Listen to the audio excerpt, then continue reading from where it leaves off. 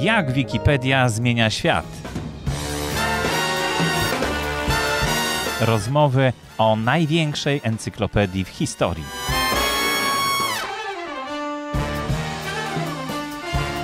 Jak Wikipedia zmienia świat? Dzisiaj e, jestem w Poznaniu na Wydziale Filozofii Uniwersytetu Ada, imienia Adama Mickiewicza i spotykam się z doktorem Tomaszem Raburskim. Dzień dobry. Dzień dobry. Ty jesteś i wikipedystą, i naukowcem, który bada Wikipedię.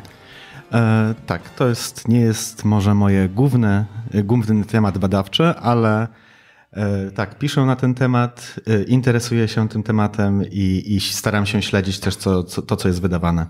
Mhm.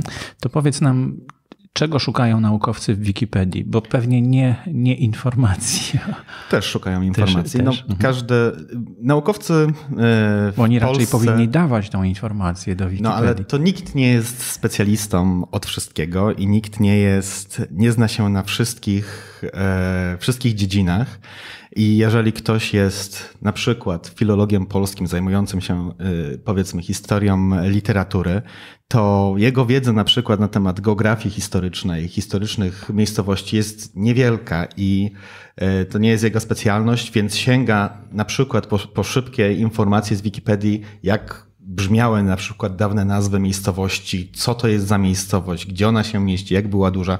I, i to jest e, całkiem naturalne, że, że po ten rodzaj wiedzy się sięga. No ale te czasy, że mm, naukowcy mówili, nie, nie, Wikipedia to absolutnie, to, to w ogóle trzeba mieć e, papierową Tak. e, encyklopedię, to już chyba się skończyły, prawda? Em, To nie skończyły się. Żadne czasy tak szybko się i definitywnie się nie kończą. Y, I są ludzie, którzy są osoby, które nadal tak uważają. Są osoby, które widzą potencjał popularyz- popularyzatorski i, i dydaktyczny w Wikipedii, ale nie widzą z kolei potencjału naukowego. Są osoby, które widzą Wikipedię jako takie środowisko, które jest interesujące badawczo, do badania na przykład no, interakcji społecznych, ale są też osoby, które widzą Wikipedię jako szybkie, sprawne źródło wiedzy, którego nie, nie trzeba się jakoś wcale ukrywać, bo to też było dosyć popularne, że naukowcy korzystali, ale nie mówili o tym. To był taki ukrywany, ukrywany ich sekret warsztatowy. Jeżeli są świadomi słabości, problemów, które to może nieś, nieść, no to to jest narzędzie jak każde inne, które trzeba po prostu znać, jak, jak ono działa. No ale potem się znajdowało właśnie jakieś fragmenty całe zaczerpnięte bez podania źródła w jakichś pracach doktorskich czy magisterskich. Ale to nie jest chyba, to nie był chyba tylko problem Wikipedii. Oczywiście. W ogóle w, w latach 90. I, i na początku 2000 to, to ten warsztat wielu polskich e, naukowców czy badaczy, którzy pisali, musiał się też bardzo unowocześnić, jeżeli chodzi o, podej- o podejście na przykład do, do praw autorskich. I bardzo wielu takich, no, na przykład historyków, czy w ogóle badaczy społecznych, e, miało bardzo bałaganiarskie podejście do tego, skąd oni czerpią informacje i jak dokumentują to, co napisali. Obecnie mamy dosyć takie rygorystyczne podejście, że jednak trzeba udokumentować nie tylko źródła cytatów w swoich pracach, które się pisze, co jest, y, wynika bezpośrednio z prawa autorskiego, ale też powinno się podawać źródła inspiracji, źródła idei, także jeżeli to są, to są na przykład studenci, to jest w dobrym tonie i powinno się podawać skąd pewne, pewne idee przychodzą, co było całkiem zupełnie niespotykane na przykład jakieś 20 parę lat temu. No teraz tak, teraz i też porównywać jest dużo łatwiej, bo wystarczy wrzucić w- taki prosty dosyć program i plagiat bardzo szybko się wykrywa. Tak. To jest, to jest jak gdyby no, dużym plusem Wikipedii jest to, że ona jest łatwo dostępna, łatwo przeszukiwalna i nic się tutaj nie ukrywa, skąd pochodzi dana fraza, czy, czy skąd pochodzi dany fragment. No ale naukowcy przecież badają też Wikipedię, bo jest chyba dla nich świetnym źródłem nie tylko informacji o innych dziedzinach, tak jak już mówiliśmy, tylko też informacji o społeczeństwie, bo przecież to jest coś, to jest taka wieża Babel, którą budujemy e, w różnych, z różnych języków w dodatku. I już na podstawie różnic językowych można coś, można wiele rzeczy wywnioskować, prawda? Tak, jeżeli chodzi o, o takie mm, e, dane, Wikipedia jest jak gdyby zasobem danych i interakcji społecznych, a przede wszystkim ona jest przejrzysta, łatwa do obróbki, jeżeli chodzi o ten, o ten rodzaj danych. Jest dostępna każdemu i właśnie jest międzynarodowa. I, to, i właściwie tutaj mamy już 20 lat ciągłych zapisów różnych sytuacji na dziesiątki tematów, zasób zupełnie niewykorzystany kopalnia, z której będziemy pewnie korzystać jeszcze przez kolejne, kolejne dziesięciolecia, żeby na przykład dokumentować to, jak wygląda nasze życie online w dzisiejszych czasach, jak wyglądało w przeszłości, co kolejne na przykład rewolucje w technologii zmieniły w naszym podejściu do, do interakcji online. Także to jest mhm. bardzo dużo rzeczy ciekawych się tu dzieje. No wydaje mi się, że Wikipedia jest taką współczesną jaskinią gdzie wchodził człowiek i rysował na ścianie bizona, na przykład, którego chciał przekazać, bo to było coś ważnego w jego kulturze i chciał go utrwalić, chciał go jakoś zapisać, prawda? I to samo dzieje się teraz w Wikipedii, że wszystkie te ważne rzeczy dla nas chcemy utrwalić no a te mniej istotne giną, jakoś tam przestają mieć znaczenie, prawda? I nikt na nie nie patrzy, na te hasła takie mało, mało popularne na przykład. No nie wiem właśnie, to nie jest ten chyba najbardziej mm, taki dziki okres, ten początkowy, gdzie każdy mógł wejść i napisać to, co, go, co mu leżało na sercu, już chyba minął. I teraz wiadomo, że w większości tych wersji językowych te Wikipedie są już wielkimi strukturami, gdzie każdy, kto chce coś napisać, powinien to w jakiś sposób podeprzeć źródłami i umieć się też zachować w tym miejscu. Także to nie jest już jaskinia, tylko jest już co najmniej wioska, jeżeli nie jakaś, jakaś już wyższa kultura. I to też nie jest tak, że hasła zupełnie niszowe nie mają znaczenia. Wiadomo, że najpopularniejsze rzeczy dotyczące popkultury, czy, czy sportu, czy polityki są oglądane przez dziesiątki tysięcy osób dziennie. Natomiast właśnie dużą wartością Wikipedii są te rzadko odwiedzane hasła, na przykład właśnie o, o trudno dostępnych biogramach takich, o, o, osobach, które, które trudno znaleźć y, gdziekolwiek indziej, na, na przykład nie ma tego w internecie, albo o miejscowościach. Baza tych haseł mało odwiedzalnych, ale jednak wypełniających istotną lukę też jest bardzo ważna. Taka, taka pewna kompletność tego, o czym, o czym, do czego Wikipedia zdąża. No poza tym daje możliwość, której nie było wcześniej, że możesz, jak nie ma tego hasła, no to, to możesz je napisać. Tak. I możesz uzupełnić tą białą plamę, bo na przykład y, twojej miejscowości y, nie ma na Wikipedii, a jest z założenia encyklopedyczna, więc należy napisać. Tak, no już, już w Polsce już nie jesteśmy na tym poziomie. Już Polska jest, wszystkie miejscowości są, są wpisane, natomiast w biografiach mm, jest nadal, są, są bardzo duże luki, nawet w, czy to wśród osób współczesnych, czy, czy historycznych, tak, to jest nadal bardzo, wie, bardzo wiele, wiele do zrobienia. No tak, brakuje tutaj też równowagi pomiędzy mm, kobietami i mężczyznami na przykład, prawda? No to jest, to jest, to jest częściowe odzwierciedlenie um, nierównowagi w samych źródłach, tak, jeżeli w źródłach historycznych um, na pewno na temat średniowiecza tych kobiet jest stosunkowo niewiele, albo jeżeli są to ich informacje na ich temat, nawet na temat powiedzmy córek naszych królów, to, to, to mamy bardzo niewielkie te informacje, ale mimo jednak wszystko to jest nadal tutaj bardzo wiele do zrobienia i ta uwaga rzeczywiście powinna być, jeżeli chodzi o współczesność, jakoś, jakoś wyrównana. Mhm. Na pewno statystyki są cenną możliwością dla badaczy nie tylko Wikipedii, ale i społeczeństwa, prawda? Tak. Jak e, podchodzi się do tych statystyk? Które są najbardziej ciekawe? Jest bardzo wiele danych takich czysto jakościowych, które można zbierać za pomocą tych wszystkich instrumentów big data. I to są budowane zarówno maszyny do zbierania tych danych i są opracowane różnego rodzaju modele. Na przykład widziałem modele, które matematyczne, takie, takie informatyczne, które pozwalają przewidywać na przykład to, czy, czy ktoś spośród edytorów będzie się wypalał, na przykład po sposobie jego komunikacji. Aha, po stylu, czy, tak? czy zmierza w kierunku jakiegoś na przykład kryzysu, który... Słychać, który... już, tak? Nie, nie, to częściej, częstszym powodem jest e, nagromadzenie różnego rodzaju negatywnych odpowiedzi, mhm.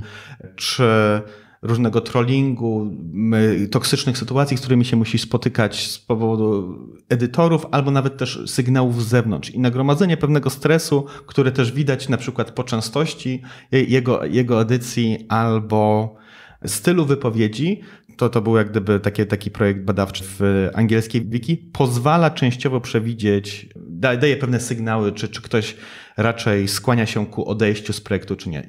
I to jest rzecz, która jest opracowane na, na Wikipedii, ponieważ te dane są łatwo dostępne, cała dyskusja, ale podobne mechanizmy być może istnieją także, jeżeli chodzi o inne portale społecznościowe. Tak? To są tyle, że jak gdyby tutaj. No, dane są zamknięte. Dane są zamknięte, ale też istnieje inny profil, jak gdyby w interesie tutaj ludzi, wszystkich, którzy korzystają z Wikipedii, jak i tych, którzy edytują, jest to, żeby ta atmosfera nie była toksyczna, żeby te, te stresy były, mm, były rozładowywane, dlatego żeby no, ten projekt się roz, rozwijał. Tak? To nie jest tak jak na przykład Facebook czy Instagram, gdzie generalnie główną motywacją jest to, żeby było dużo użytkowników, bo to generuje ruch i, i na przykład zyski z reklam. Tak? Tutaj, ponieważ jest to projekt zmierzający do pewnego dobra publicznego, takiego jakim jest, jest rozrost wiedzy, to lepiej się w tym projekcie działa i pracuje, jeżeli te sygnały są wychwytywane i na przykład społeczność daje pewne wsparcie dla tych osób. Ostatnio rozmawiałem z Iloną Łebkowską, scenarzystką,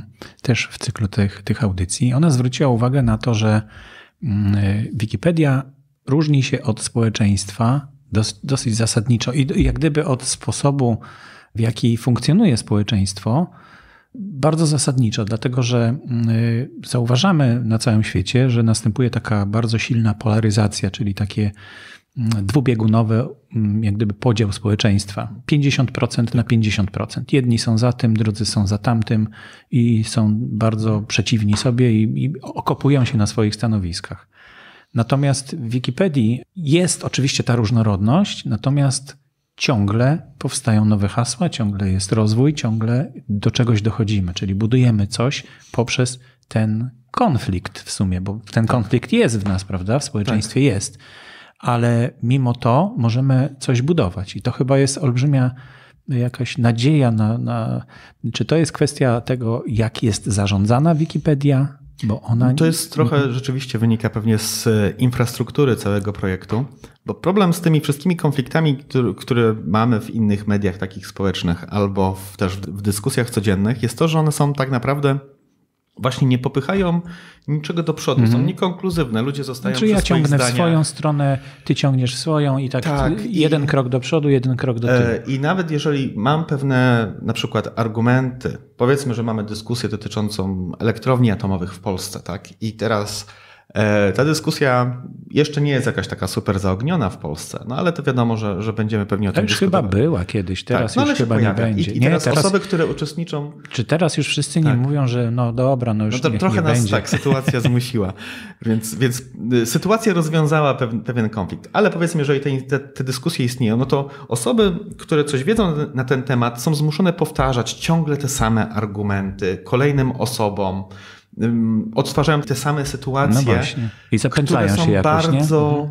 To jest, to jest jednak bardzo wyczerpujące. To, i, i, widać ten brak rozwiązywania pewnych dyskusji na poziomie takiej, takiej, takiej codziennej dyskusji z różnymi ludźmi. Natomiast Wikipedia, przez to, że się konflikt dotyczący treści jest rozwiązywany przez opracowanie, na przykład przedstawienie argumentów różnych stron, tak? I, i pewne, pewne rzeczy są przeniesione już krok dalej. No dobrze, to już zostało opisane, więc nie, nie trzeba pewnych rzeczy powtarzać po raz kolejny, a na przykład dyskutantów można odsyłać już do tego podsumowania dyskusji albo rekapitulacji stron. No ale to polega na tym, że mm, odnosimy się do zasad Wikipedii, że mówimy, no słuchaj, przedstaw argumenty, bo takie są mhm. zasady Wikipedii.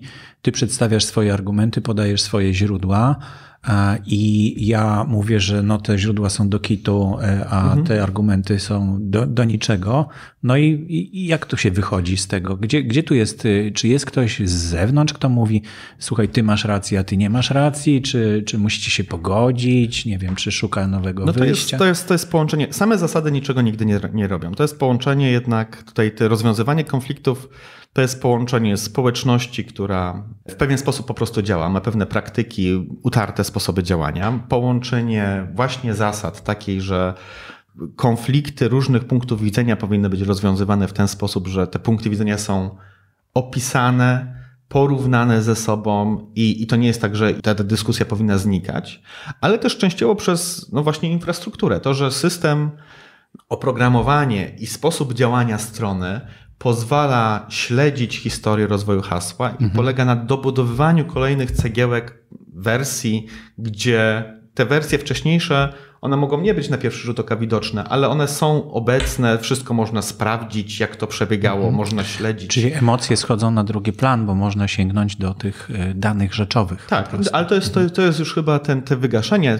emocjonalności, znacznie niższa temperatura rozmów i mniejsza emocjonalność, na pewno bardziej neutralny język, w jakich są dyskusje prowadzone. To już jest rzecz wprowadzana raczej przez społeczność, która tego pilnuje. Wiadomo, że są, nadal są, są ostre wypowiedzi, zdarzają się ostre kłótnie, tego się nie da uniknąć w internecie i że takie dyskusje tekstowe są, są bardzo trudne, ale temperatura i jakość dyskusji jest, jest znacznie lepsza niż to w jakimkolwiek innym portalu takim, takim społecznościowym albo forach takich pod artykułami. No tak, ale jak to się dzieje, bo przecież sposób dyskusji w Wikipedii jest strasznie skomplikowany. O tak.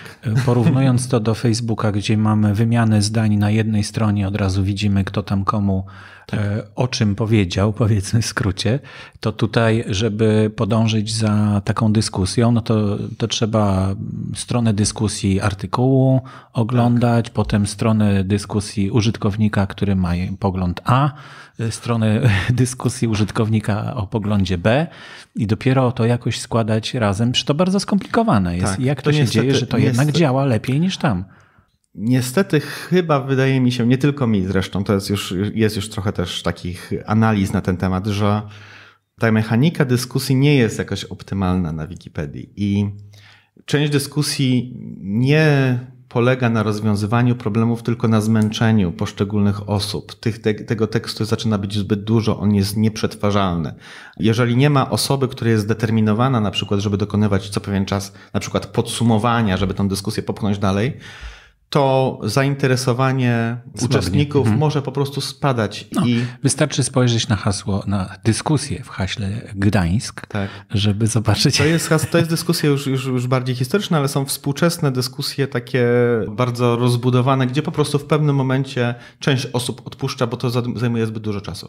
Po- Czyli coś jak w sądach amerykańskich, że mam pieniądze, to mogę ciągnąć e, proces w nieskończoność i. Mam czas może, mam czas i nerwy, No właśnie. ale, ale z drugiej strony te, te, te dyskusje pod, na przykład na Twitterze, Facebooku, czy, czy pod, na forach pod artykułami w prasie, one są z kolei zbyt łatwe i tak skłaniają ludzi, to znaczy nie skłaniają, ale tech, technologia ułatwia szybkie wypowiedzi, bardzo emocjonalne, które niczego nie wnoszą, a służą tylko na przykład emocjonalnemu jakiemuś pobudzeniu. I to skupienie jednak na wypowiedziach, które muszą być merytoryczne, które coś wypowiadają czyjąś opinię, pewne zastanowienie i, i konieczność przeczytania całości, przynajmniej, czy przynajmniej części tej, tej, tej, tej wypowiedzi, to jest jednak coś, co spowalnia tempo, ale jednak być może się przyczynia. Tak więc też technologia odpowiedzi może obniżać temperaturę emocjonalną i skłaniać do tego, że to inaczej działa po prostu tutaj. No a jak wygląda sytuacja, jeśli ktoś pisze jakąś e, taki hejt e, typowy, taki jak mamy w mediach społecznościowych, który nie odnosi się merytorycznie w żaden sposób do, do nie, nie podaje żadnych argumentów, to czy on jest ignorowany i przez to po prostu nie znajduje pożywki i, i odpada jako martwy taki zaułek, czy Pilnowanie tej jakości wyp- wypowiedzi jest znacznie bardziej rozbudowane. ale przecież administrator nie usuwa takiej wypowiedzi. Nie, prawda? są usuwane. Wielokrotnie się spotykałem, Aha. że te, te, te, te wypowiedzi są usuwane, że osoby, które się w ten sposób wypowiadają agresywnie, nie wnosząc niczego, są blokowane po właściwie jednej wypowiedzi, bo widać, że to, to, to, to niczego nie będzie wnosiło. Natomiast wypowiedzi, które są merytoryczne, ale wyrażone w niewłaściwy sposób, są albo korygowane, skreślane na przykład, osoby są upominane. I oczywiście mówimy, Wikipedia tak naprawdę to, jest, to, jest, to są setki tysięcy miejsc, tak? bo właściwie każde, każdy artykuł ma własną potencjalną stronę dyskusji i mogą się znaleźć miejsca, które, w które nikt nie zagląda i takie wypowiedzi się, się spotykają. To raczej się rzadko obecnie zdarza w Polsce, w polskiej Wikipedii, ale to, to jest całkiem możliwe. Natomiast ta główna przestrzeń, gdzie są prowadzone główne dyskusje na temat zasad, projektów, pewnych kwestii takich ogólnych, to raczej takie, takie, takie wypowiedzi są bardzo szybko ukracane. Bo jeszcze tak zastanawiałem się nad tym, czy to, że jednak idziemy do przodu, że, że jest ten rozwój, nie wynika z tego, że wszyscy właściwie, którzy wchodzą do Wikipedii, chcą zrobić coś dla wspólnego dobra. Bo to... Nie wszyscy. Nie, to jest jednak bardzo optymistyczne spojrzenie na, na ludzi. E, tak by było bardzo, bardzo miło i żebyśmy się tylko nie zgadzali co do tego, jak to dobro wygląda, ale mm, miejsc, jednak takie miejsca przyciągają też e, zwykłe trole. Na szczęście tutaj, ponieważ ta, ta, ta dynamika dyskusji jest mniejsza, to, to Facebook nam chyba bardzo pomógł, tak, prawda? Tak, to dużo sieci bo, społecznościowe bo dużo ludzi odciągają. Takich, tak, no, tam, takich troli odeszło w, tam, tak, w tak, tak. To jednak trole potrzebują takich silnych wzmocnień i, i, i takiego konfliktu, mm, konfliktu który łatwiej, i większego ruchu też, który jest łatwiej na tych, na tych dużych portalach takich komercyjnych e, znaleźć. Natomiast na pewno zdarzają się ludzie, którzy mają na przykład misję, którzy chcą przekazać swoją jedyną słuszną wersję swojej wiedzy, albo na przykład kwestie promocji, czy to osób, czy na przykład też idoli, powiedzmy, popkultury, albo też polityków, no, albo są zatrudniane firmy tak. do tego, żeby to, to są osoby, które mają pewien interes w tym, żeby, żeby zaprezentować pewną wizję, albo pewne informacje, albo ukryć pewne informacje. Tak więc to nie jest tak, że zawsze wszyscy kierują się tym dobrem. Znaczy to nie jest tak, że te firmy stwierdziły, że łatwiej jest zapłacić za reklamę, która będzie nam gdzieś tam podprogowo wchodzić przez radio, albo przez telewizję, albo przez jakieś banery wyświetlające się, niż zatrudnić sztab ludzi, którzy będą myśleć o tym, jak wzbogacić hasło, tak żeby to był, spowodowało podobny efekt. Mm. Wydaje mi się, że, że Wikipedia, przynajmniej jeżeli chodzi tutaj o, o polskie, polskie, polskie warunki, to raczej jest poza w ogóle radarem większości firm. One tak jak gdyby nie widzą, na szczęście nie widzą tego, tego że to jest jakiś duży potencjał taki biznesowy. Widzą pewną trudność, że te hasła są, nie mają nad kontroli nad, nad tym, co jest w tym haśle pisane, co jest dla nich pewnym dużym problemem. Natomiast nad reklamą mają pełną kontrolę, tak? I były różne przypadki takiego edytowania, mniej lub bardziej jawnego, nadal, na pewno są nadal prowadzone. Póki to się zatrzymuje na, na podawaniu informacji o firmie i aktualizacji aktualizacji informacji. Czy to chodzi o firmę, czy na przykład o instytucje publiczne. To jest dosyć już teraz chyba popularne, że na przykład urzędy, muzea, instytucje publiczne mają osobę, która co pewien czas na przykład sprawdza, co się tam jest w tym haśle, mhm. czy to są aktualne informacje, to takie rzeczy są jak najbardziej, jak najbardziej dopuszczalne, natomiast takie. No zawsze to jest dołożenie cegiełki do tak, tego, co Tak, to, jest, jest. to właściwie to chodzi o jakość informacji, a nie, a nie to, kto I tutaj to nie ma nic przeciwko temu, żeby nie.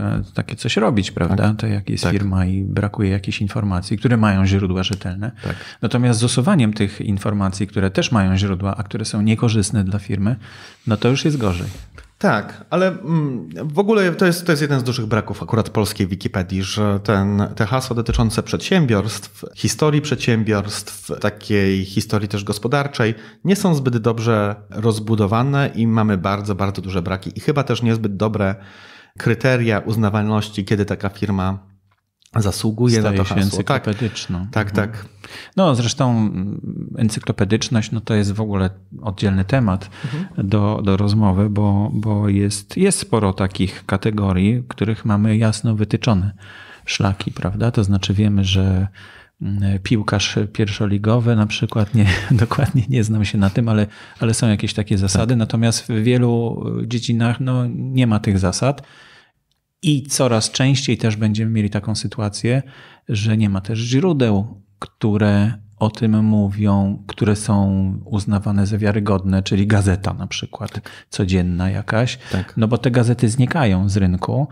Tworzą się osobowości, które są doceniane przez internautów, a nie są jak gdyby w tych wiarygodnych źródłach e, widocznych, youtuberzy na przykład. No, trudno tak. jest podać, nikt, y, żadna prasa nie pisze na temat youtuberów. E, tak jest bardzo duży problem z encyklopedycznością społeczników, na przykład działaczy społecznych, działaczy ruchów. I to nie tylko chodzi o nasze współczesne czasy, gdzie ta rozpoznawalność, jakość może być potwierdzona, ale na przykład jeżeli chodzi o okres PRL-u, na przykład, albo nawet wcześniejszy czas, dwudziestolecie międzywojenne, XIX wiek, czy na przykład bardzo znany nauczyciel w okresie powiedzmy zaborów, tak? to, o którym wiele osób wspomina. Czy kiedy on będzie miał ten status encyklopedyczności zasługujący na hasło. Wiadomo, że dzisiejsi nauczyciele, chociaż mogą być bardzo znani, raczej bardzo wyjątkowo muszą mieć jak gdyby inne podstawy tego, żeby dostać własne hasło, ale to jednak te czasy były inne. I teraz te, te ostre kryteria, które dadzą się ustalić dla niektórych, na przykład dla sportowców, tutaj za, zawodzą i są bardzo trudne do takiego ustalenia. To jest jedna taka rzecz, która różni takie podejście naukowe od podejścia takiego wikipedycznego. Bo jednak naukowiec może się zdać na to, że pisze na przykład słownik e, biograficzny i to on dokonuje wyboru. Mhm. I to może, może, ten wybór może być uzasadniony, ale może być też dosyć arbitralny. I oczywiście my tutaj w Wikipedii możemy się opierać na tych różnych słownikach, ale tych słowników na przykład znanych ludzi w małych miasteczkach dosyć dużo teraz powstało i nie, wszyscy, nie wszystkie te osoby, te hasła, tym bardziej, że częściowo one są opłacane przez samych zainteresowanych, zasługują na uwzględnienie. Wytłumaczenie tego, czym jest encyklopedyczność dla naukowca, czyli pewnych takich zewnętrznych kryteriów, które mają być stosowalne, to, to nie zawsze się udaje. Naukowcy są bardzo, bywają bardzo oporni w zrozumieniu tego, że muszą się podporządkować tutaj jakimś zewnętrznym regułom, jeżeli chodzi o dobór tematów na przykład. Mhm, mhm. No jest też dużo takich sytuacji. Ja sam miałem do czynienia z e, Andrzejem Bertrandem, który mm, jest takim grafikiem mm, PRL-owskim, właściwie on głównie tworzył w PRL-u i jego grafiki były widoczne no, w, mia w miastach, bo on murale mhm. tworzył, jedne z pierwszych murali reklamowych. Mhm.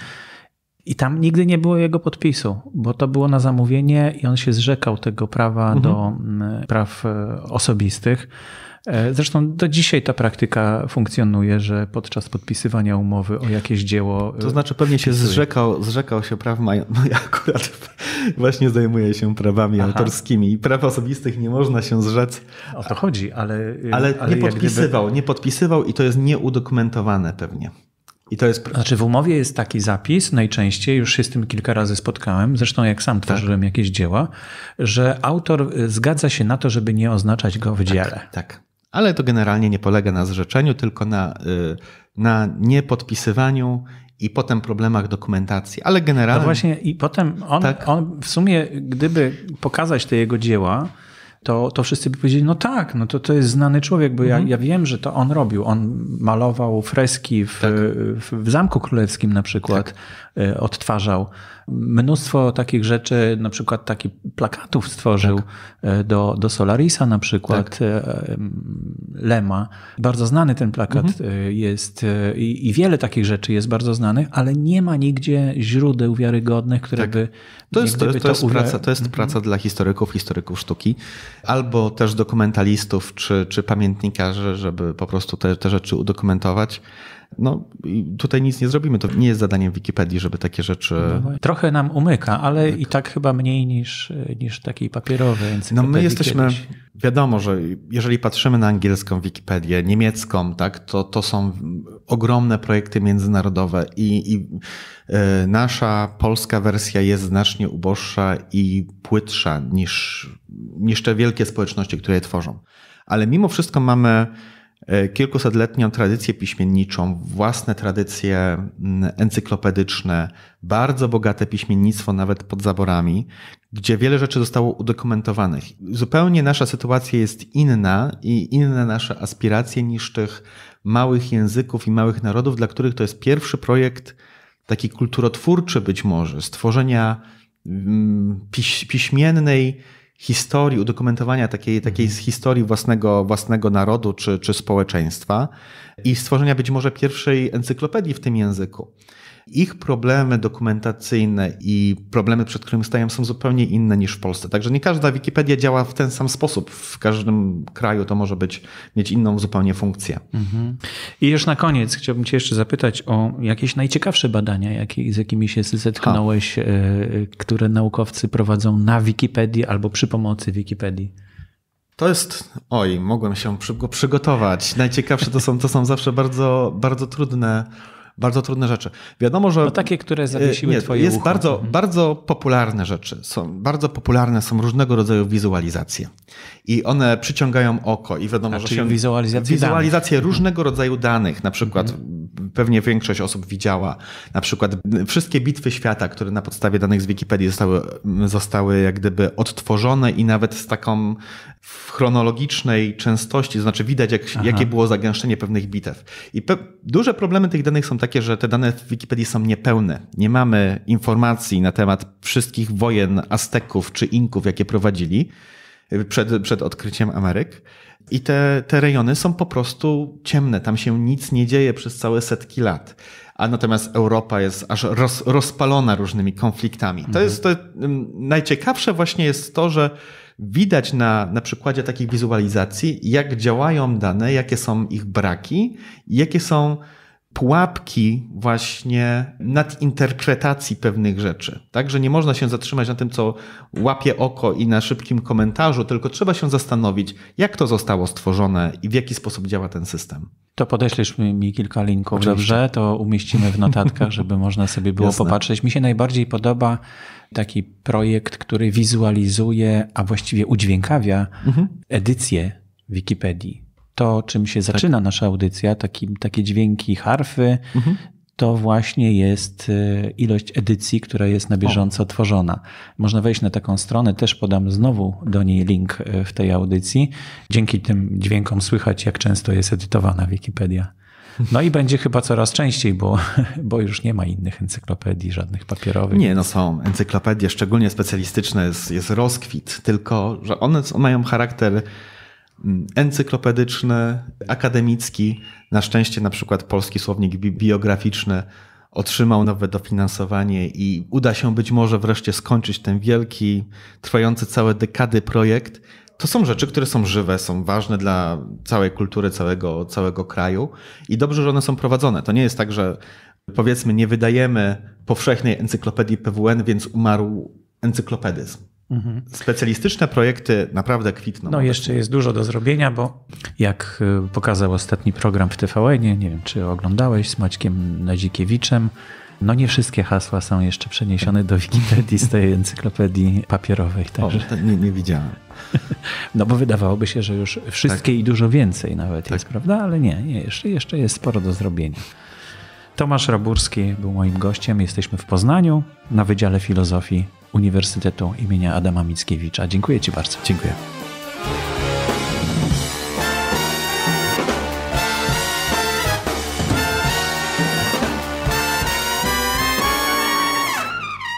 To był podcast Wikiradia z serii pod tytułem Jak Wikipedia zmienia świat.